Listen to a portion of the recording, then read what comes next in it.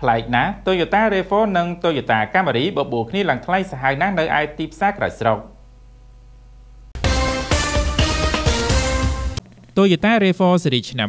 2024ជារថយន្តដែលមានការពេញនិយមបំផុតសម្រាប់ប្រជាជនអូស្ត្រាលីរហូតធ្វើឲ្យរថយន្តលក់ដាច់អស់ពីស្តុកផលិតមិនទាន់ដល់ថ្នាក់អតិថិជនរងចាំរាប់ខែទើបបានប្រើប្រាស់ ដោយឡែកខាង Toyota នៅអូស្ត្រាលីបានប្រកាសប្រាប់ទៅអ្នកដែលចែកចាយរថយន្ត Toyota ទាំងអស់អំពីការឡើងថ្លៃរថយន្តទាំងពីរ model ចាប់ពីខែកក្កដាឆ្នាំ2023តទៅនេះបើយោងតាមការចេញផ្សាយពីគេហទំព័រត្រៃ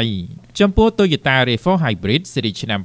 2023ត្រូវបានបំពាក់នៅម៉ាស៊ីនសាំង2.0លីត្រអមជាមួយនឹងប្រអប់លេខប្រភេទ CVT 10វ៉ាបាននិយាយដល់កម្រិតសន្សំសំចៃ RAV4 និង Pro ជារថយន្តប្រើម៉ាស៊ីនកូនកាត់ដូចគ្នា តែការស៊ីសាំងមិនលើសខ្វះគ្នាប៉ុន្មានឡើយដោយ RAV4 ស៊ីសាំងតែ4ទៅ6លីត្រក្នុងចម្ងាយ100គីឡូម៉ែត្រ ចំណែកឯ Toyota Camry Hybrid ជារថយន្តដែលមានសុវត្ថិភាពខ្ពស់ដោយទទួលបានផ្កាយ5ពីការធ្វើតេស្តរបស់ ANCAP កាលពីឆ្នាំ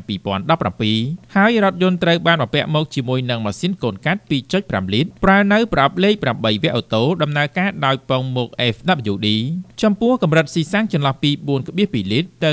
6.8លីត្រក្នុងចម្ងាយ100គីឡូម៉ែត្រដោយឡែកសម្រាប់ទីផ្សារបច្ចុប្បន្ននៅប្រទេសអូស្ត្រាលី Toyota RAV4 Hybrid មានការឡើងថ្លៃគួរឲ្យកត់សម្គាល់ចំនួន1710ដុល្លារនិង Toyota Camry Hybrid ឡើងថ្លៃចំនួន1830ដុល្លារគួរជម្រាបផងដែរថាសម្រាប់ទីផ្សារនៅប្រទេសអូស្ត្រាលីមិនមែនមានតែរថយន្ត Toyota ពីរ model នេះទេដែលឡើងថ្លៃពលគឺមានរថយន្តជាច្រើន model របស់ Toyota